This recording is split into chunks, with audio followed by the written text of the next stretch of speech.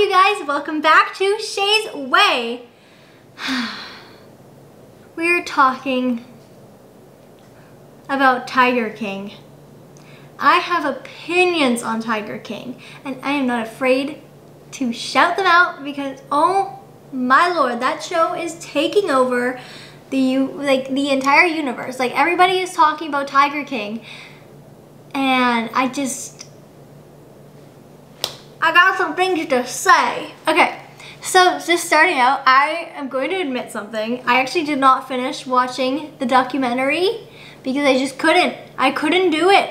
I was like, why am I watching this? This is like, uh, it irked me every single time. I could not get through it. I just couldn't pay attention to it because it was like media sensationalizing really crappy people.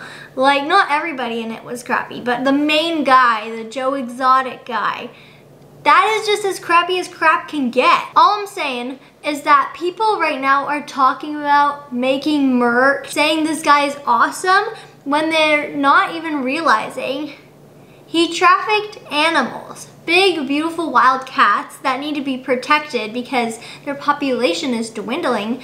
Um, he trafficked them, many of them died, and they're being exploited for people's uh, entertainment. How would you like to be exploited for entertainment? Would you like it? No. And then not only that, but he tried to hire twice, or he hired two hitmen against an, a woman. Uh, I'm sorry, last time I checked, trying to murder somebody was not that cool, you know? Wasn't, wasn't that cool um, don't vibe with that. So I don't really get the hype with it. I just can't understand the hype. Like I get the drama. I get it because who knew the tiger community was that insane? Like I thought the equestrian community had some drama and some props, but the tiger community, wow, that is a whole nother spectrum of whoa. It's just so crazy. I just feel bad for the animals in it because I'm a huge animal lover. So I, from the point I watched, everybody's talking about one of the people, Carol Baskin. And from the point that I watched, I was like, with, I was like, I'm with you. Like, save them, not exploit the, the tigers. I don't really know about the whole murder of the husband thing, though I did some digging on it and I kind of formed an opinion based on what I read on the news. So correct me if I'm wrong based on the documentary series because I did not finish it. From my point of view, this Joe Exotic guy is just... Not he's not exotic. He's probably gonna put a freaking hit on my head for that. Oh my gosh, I'm gonna be targeted by Joe Exotic now because um I spoke bad against him. All I'm saying is I don't know. I don't get the hype with this guy. Like a lot of people actually like him. Why are you liking somebody that wanted to murder somebody because they were disagreeing with them and saying it publicly? Like you're exploiting animals and you're getting mad because somebody was like, um, please don't do that. Let's stop this guy from exploiting animals. The point I did get to was somebody's arm actually legit got bit off in that show and that was crazy. That was something. I was like, but I have a little conspiracy theory about that. They don't look like the wealthiest of people, so I know that surgery to get your arm back on is probably really expensive.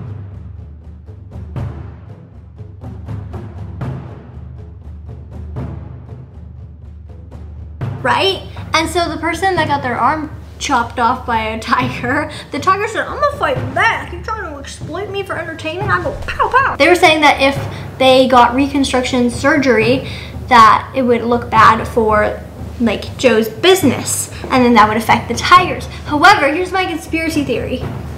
Maybe, just maybe, the person that got their arm bit off, I don't remember, remember her name, um, they couldn't afford the surgery and they're saying that in the documentary because I feel like Netflix is really leaning towards the bad guy's side. Like, they painted Carol Baskin, who's against him, so it's like this guy versus this girl and they painted her as like this crazy lady. Oh she cares about the tiger so much like crazy lady. Oh maybe she killed her husband blah blah blah. Whereas this guy they're like oh he's so rad. He's so cool. Look at him with his business. Everybody loves him and stuff. And so I just kind of feel like they're just painting in a good light. And keep in mind, this guy, he got 22 years in prison for a reason. You don't just get 22 years in prison. You don't just get that. Like if it wasn't a like if they weren't super suspicious maybe or like I don't know, if they didn't think he did something wrong, he probably wouldn't have gotten 22 years in prison. 22 years! That's a lot of freaking years, bro! I'm not even 22 yet. All I'm saying is I don't really like the series. I don't like what it supports. And I did some digging. Okay, so this is kind of fun stuff. This is the tea part of the video. I don't know if this was explained in the documentary or not, but I read an article online because I wanted to know if the zoo was still open because the guy's in jail, so he's gonna run a zoo. So it was taken over by a couple called, uh, by a couple, Jeff Lowe and Lauren Lowe, and they actually look pretty decent. That's what they look like. They took over the zoo once um, Joe Exotic went to prison. He closed it apparently and they took it over. And many people are skeptical about him just closing it and giving it so easily. But here's what they had to say about it. They touched on about 10% of the story and you know, the portrayal of us stealing the zoo from Joe is very unfair because we came here to help him. We got it back on its feet. Lowe continued. We left to move away because we didn't want to be a zoo in Oklahoma, so the notion that we tried to steal the zoo from him is just ridiculous. So there's a lot of things that people are saying about the show that is ridiculous, like the people that are in the show. And here's the thing. We gotta keep in mind that Netflix producers are making a show for the entertainment of the public, so they're gonna be twisting some things, to make it a little more interesting, and also it was very pointed towards this one guy's direction. Everybody else, they have like these theories, oh, this person stole it from him. Oh, this person murdered her husband, etc. And then all these people afterwards are like, um, that's ridiculous to say that, which we're going to get to in a second. But in a now deleted post on the Greater Wynnewood Exotic Animal Park's Facebook page, they would describe themselves as a couple who loves animals took out the world's largest wildlife trafficker. Come see how healthy and happy all the animals are now that the horrible abuser rots in federal prison. T. So why are we sensationalizing this guy? Why are we giving him attention? Why does he get to have interviews while in prison? Why does he get to have fan pages of him? He's literally abusing animals. I don't know. I think Netflix just wanted to create a very interesting show. I think Netflix wanted something entertaining. They thought the tiger industry was like crazy and they're like, wow, this is some good drama. So they would wanted to televise it, you know? I think Netflix saw a good high selling show opportunity and they took it. Just kind of bothers me.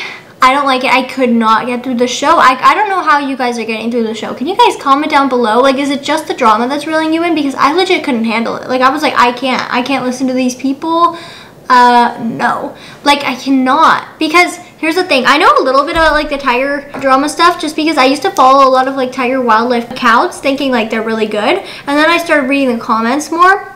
And there's these organizations saying, check out these articles. These people actually are selling their animals for different purposes and so I looked up the articles and there's true there's like actual like they have receipts or whatever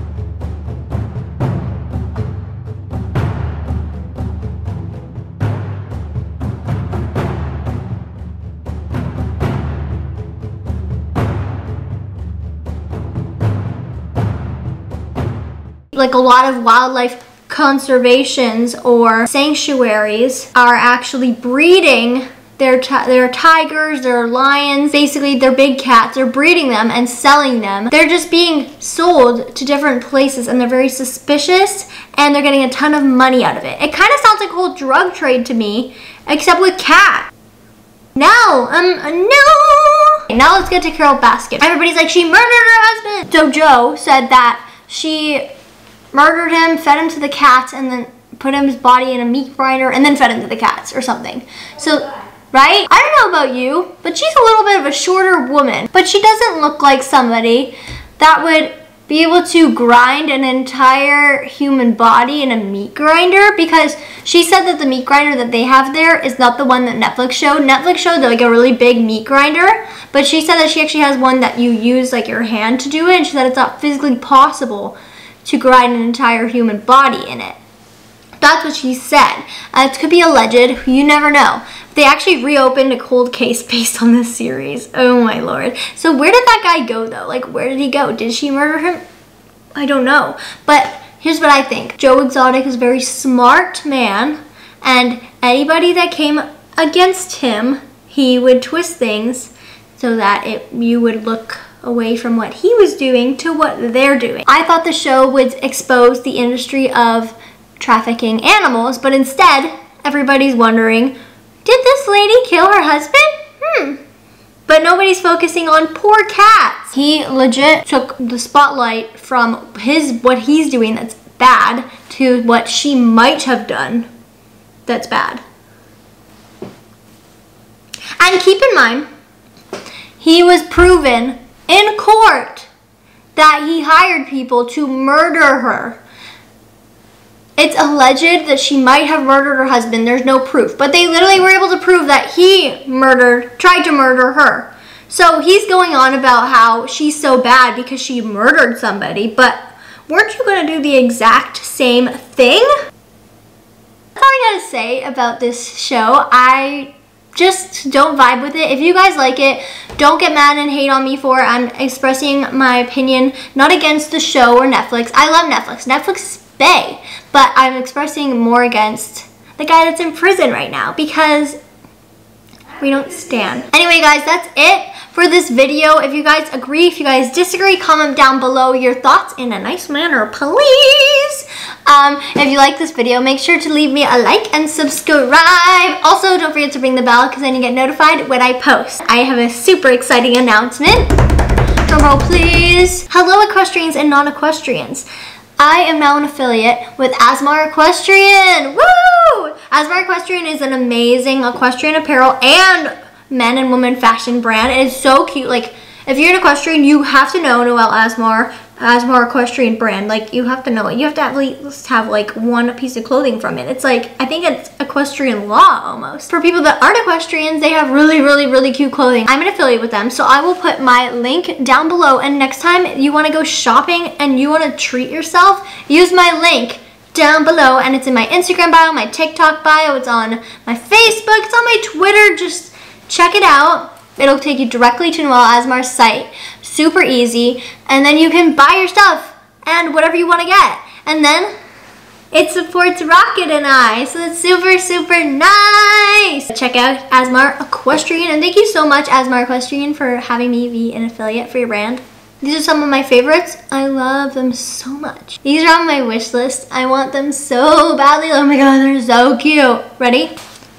One, two, three. Love them, obsessed. Also, you guys, once I get to 100K, I'm doing a giveaway for the Conspiracy Palette. So if you guys want to win a Conspiracy Palette, which by the way is going to be impossible to get for like a really long time because of the virus, then don't forget to enter my giveaway by sharing my channel with your friends and family. And once I get to 100,000 subscribers, that's right, 100K, then I'll choose a winner for the giveaway. Thank you guys. Let's do some video shout outs. Shout out to Fremont Farm. Shout out to Tim. Shout out to Ruru YT. Shout out to Madison P. And last shout out goes to Dimply Bean. Thank you guys so much for commenting. If you guys want to be the next video's video shout outs, then don't forget to comment on this video, any of my other videos, or you can comment on my Instagram, Shaysway Official, TikTok, Shay underscore Twitter, Shaysway Slays, and Facebook. Way. Okay, thank you guys again so much for watching. Have a great day! Okay, bye!